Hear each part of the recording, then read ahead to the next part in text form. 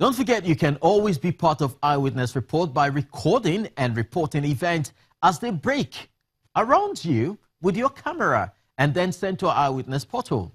Just ensure you download the Channels TV app if you don't have already. Launch and swipe to reveal the Eyewitness menu and then follow instructions on how to upload your stories.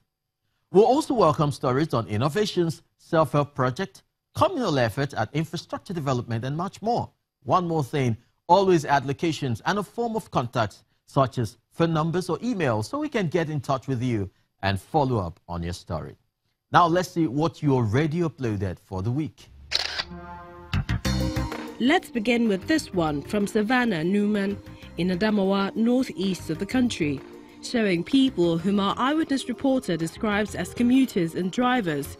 He is accusing the police of shooting the tire of the vehicle, leaving the passengers stranded. Next is this story from Enugu, the Coal City, showing people whom our eyewitness reporter calls traders plying their trade on a train track. He says this is possible because the railway is now moribund. He's appealing to government both at the federal and state levels to revive the means of transportation. Back here in Lagos, we have this picture from Akinola Street, Egbeda, in Alimosho local government area of the state. Our eyewitness reporter laments the trouble residents go through on that road. He wants the state government to fix it to ease the movement. Still from Lagos comes this image of an illegal dump site at Ojuelegba.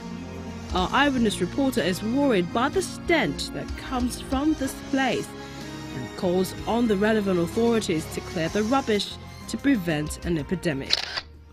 Well, let's end with this video from the National Stadium in Surulere, Lagos, showing children engaged in a taekwondo contest as a way of building their physical and mental capacity. Our eyewitness reporter sees this as an art that should be encouraged in children, especially as it teaches self-defense techniques.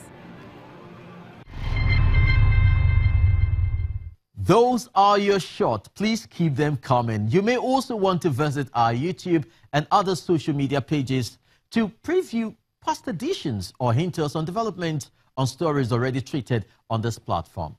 Thank you for staying tuned. Till next week, I'm Chris Lambs, and I'll keep my eyes on you. Bye bye.